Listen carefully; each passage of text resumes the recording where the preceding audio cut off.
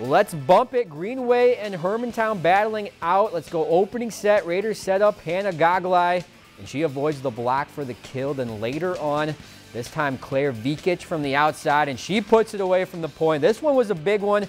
Greenway would go on to win 3 to 2. They are now 9 and 0 on the season. If you've enjoyed this segment of Lakeland News, please consider making a tax-deductible contribution to Lakeland Public Television.